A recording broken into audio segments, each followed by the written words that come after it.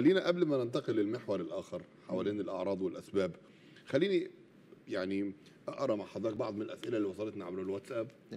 آه، أعاني من آه، تنمل أو تنميل في أصابع القدمين وقد لاحظت منذ أسبوعين تقريبا ثم بدأت آه، بدأ آه، بدأت تنمل في أصابع يدي منذ عدة أيام. رجاء إفادتي. ب- يعني رقم واحد أنا بسأل المريض عامة أنت بتحس بألم ولا بتحس بتنميل؟ لو قال لي بحس بتنميل يبقى كده مشينا في سكة أعصاب. اعصاب يعني الجهاز الكهربائي اللي في الجسم الكهربي اللي في الجسم. الأعصاب حاجة والأوتار حاجة تانية. الأوتار بتسبب يا إما حركة اختناق إن أنا مش قادر أفرد إيدي وأتنيها أو التهاب إن هو إحساس بالألم وعدم قدرة على استخدام الإيد. لكن التنميل وخاصة في الأصابع الرجل بتبقى غالبا من الظهر يعني أسفل يعني بتبقى أسفل الظهر وبنسميه عصب النسا أو عرق النسا. الظهر آه، اللي هو للإيد أو لل لا ده للرجل يعني. آه. لكن بالنسبة لاختناق العصب ودي إن شاء الله تبقى لينا حلقة تانية وهي الأعصاب مجاورة للأوتار ده العصب ممكن يكون سببه يعني فقرات الرقبة أو اختناق في إيه؟ في العصب. لكن هو الموضوع ده يعني ده موضوع فيه؟ أعصاب. أعصاب يخص طيب. الأعصاب وليس الأوتار. طيب إيه معنا تليفون طيب. طيب أستاذ عبد الله السلام عليكم. اتفضل يا أستاذ عبد الله. علي صوتك شوية لو سمحت يا فندم. بقول لحضرتك كنت عندي كسر لا. لا الصوت مش واضح. علوا لنا يا جماعة الصوت في الاستوديو. لو سمحتم. ألو؟ ألو؟ بقول لحضرتك كنت عندي الص- الصوت بعيد يا فندم. يا فندم يا شباب في الكنترول. إحنا مش سامعين الصوت.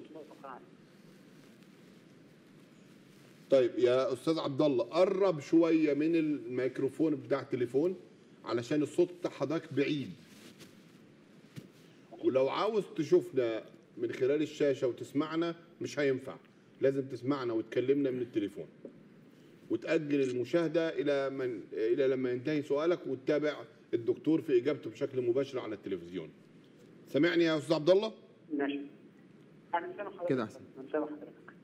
أنا حضرتك طيب اتفضل. وهاتوا لنا ال- اتفضل يا فندم. بقول لحضرتك كان في كسر في رجليا أنا أنا مش سامع. أنا بعتذر ليك يا أستاذ عبد الله. شكرا ليك يا فندم. طيب ما آه، خلينا نرجع بقى. إيه أعراض الالتهاب الأوتار؟ أول حاجة ال- لازم نفهم إن أي آلام في اليد بالنسبة لكف اليد أو راحة اليد أو ظهر اليد بيبقى 90% هي بسبب الأوتار يعني إذا كانت التهاب أو اختناق. يعني أول حاجة إحساس بالألم. مش شرط إن في إعاقة للحركة ولكن إحساس إيه؟ آه، طب لو سخونية دكتور. آه سخونية بقى ده التهاب أو كده هو أو لكن خ- أو خدلان بسيط. خدلان دي دخلنا في الأعصاب. آه. يعني في فرق بين الأعصاب والأوتار. عشان كده إحنا إيه يعني عاوزين نفرق ما بينهم. أول حاجة المريض أنت إحساسك بالألم إيه؟ خدلان ولا ألم؟ لا يقول لك ألم. مم. ألم يعني كأنك أنت بتخبط عليه بيحس بالألم لكن العصب ليه إحساس تانية تنميل شكشكة خدلان الكلام دوت. يبقى ده العصب. إحنا بنتكلم عن الأوتار. فالأوتار أول حاجة الإحساس إيه؟ بالألم. تاني حاجة أما بيحصل إحساس بالألم بيبقى في تورم، التورم دوت بيجي إعاقة للحركة بعد ذلك، بتيجي بعد كده العلامة المشهورة اللي هي قضية اللي هي إيه؟ إحساس ب- ال- ال- حركة الفرقعة، إن أنا بتني صوابعي كده أهوت أجي مثلا أفردهم يتفردوا كلهم ويجي واحد ما يتفردش. فروح زي المنظر بتاع إيدي ده بالظبط يبقى كده في الوتر الأمامي بتاع الصبع الصغير دوت في اختناق شوية. آجي أحركه كده أهوت يطق. طق يروح مفرقع وطالع. دي الدرجة الثانية لو ما قدرتش أحركه كده وجبت إيديا الثانية وبدأت ألينه كده بالراحة بالراحة لغاية يطلع يطلع يطلع يبقى دي الدرجة الإيه؟ الثالثه لو ما قدرتش ولا بإيدي دي أحركه ولا بإيدي دي ورحت للدكتور والدكتور عطاني بنج أو هو نفسه حركه كده جامد يبقى دي الدرجة الرابعة الدرجة الرابعة دي يعني دخلنا بقى في قصة إيه إن لازم عملية. نسلك. عملية لازم تسلك آه آه يبقى دي الأعراض اللي هي المشهورة. اللي بيحصل ليهم ده بس بشكل متقطع آه أقول لحضرتك مثلا يعني آه. من خمس ست سنين مثلا ايديا قعدت يومين تطق آه. لما أفتح طق آه. طق بعد كده رجع طبيعي. أيوه. ده ده معناه إيه؟ أنا بحاول برضو أجمع حاجات ما هو بسيطة معناه. إن هي رجعت لوحدها كده أهوت بس الطقطقه دي الدرجة البسيطة اللي إحنا اتكلمنا عليها الدرجة الأولى والدرجة الثانية آه آه. دي مجرد لو عملنا كمادات تلج عليها أو ريحنا قليلا أنا قصدي إنه لما بتحصل وما بترجعش تاني خلاص يبقى هو إيه؟ يبقى هي دلالتها شوية التهابات بسيطة حصل تليف وأنا بحركة إيدي كده فكيت التليف دوت وخلاص. وانتهى. وانتهى آه، خالص طيب. بس ده مؤشر إن هي عندها من قابليه الممكن أن تتعرض. صحيح. طيب. ناخد عبد الله تاني. اتفضل يا عبد الله السلام عليكم. السلام عليكم. ألو؟ أيوه. ألو؟ أيوه عبد الله بقول لحضرتك كنت كنت كنت مركب مسمار نخاع في رجليا والله يا جماعة لا لحظة واحدة يا عبد الله لحظة واحدة. لحظة واحدة. يا مصطفى أنتوا سامعين في الكنترول؟ بجد يعني. نعم؟ طيب يعني ما دي تاني مرة نفس المتصل.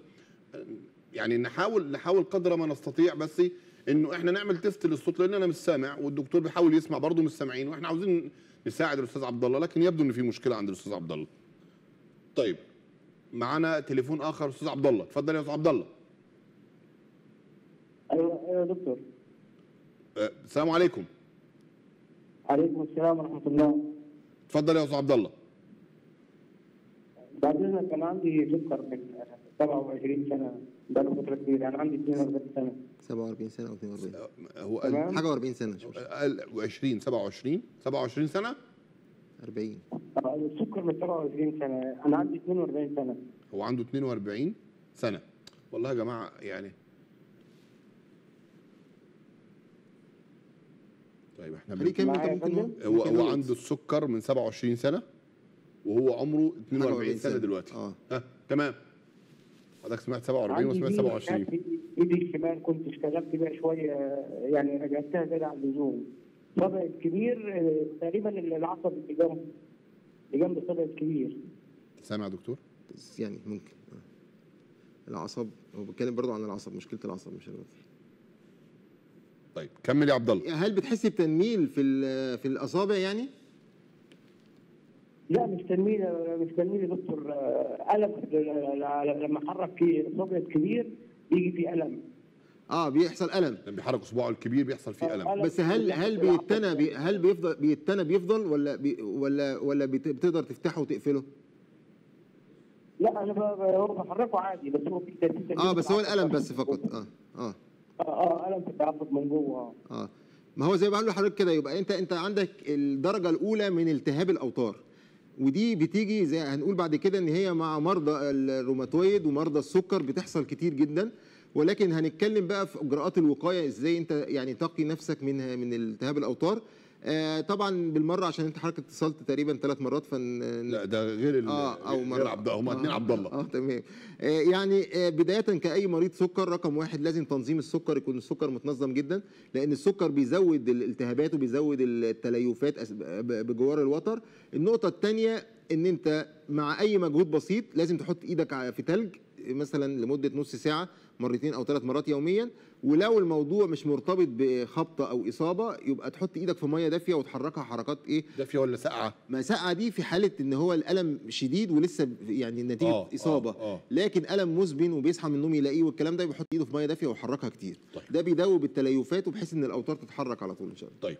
خلينا نحاول يا جماعة آه، نرجع نكلم الأستاذ عبد الله مرة تانية لأنه الشباب بيقولوا لي عنده آه، مشكلة. إشاعة. تمام يوريها لنا فمحتاجين نشوفها فعاوزين نفهم المشكلة عنده إزاي. طيب هل في تشابه بين التهاب أوتار اليد وأعراض أخرى في اليد؟ دكتور. آه طبعا لازم إحنا يعني يعني تكر لأن إحنا واخ- واخدين إن الحالة البسيطة اللي هي ما فيهاش مشاكل اللي هي قصدي يعني مش محتاجة أشعاعات ولا مش محتاجة فحوصات بيبقى مجرد إن هو اختناق في الأوتار أو التهاب في الأوتار. لكن في بعض الأمراض الأخرى أو بعض الأشياء الأخرى بتسبب يعني إعاقة لحركة الوتر إن في بعض التورمات الحميدة بتبقى موجودة في الأصابع آه، بيبقى كيس زلالي كيس عظمي آه، بيبقى في حاجة اسمها enchondroma يعني تكيس في العظم بيمنع حركة الوتر شوية. ده بقى اللي محتاجين إن إحنا نفحصه بالأشعة العادية وأشعة الرنين الإيه؟ المغناطيسي. بعض الأمراض الأخرى زي السكر زي ما هو قال الأستاذ عبد الله النقرس أملاح النقرس بتترسب حوالين الوتر برضه تعمل له انتفاخ أو إعاقة في الإيه؟ في الحركة. الروماتويد بيبقى ليه بعض ال- مرض الروماتويد المشهور بتاع المناعة نعم. بيبقى ليه بعض البروزات في العظم كده هو بي بي بيعمل آلام في الإيد بيشابه الالام الإيه؟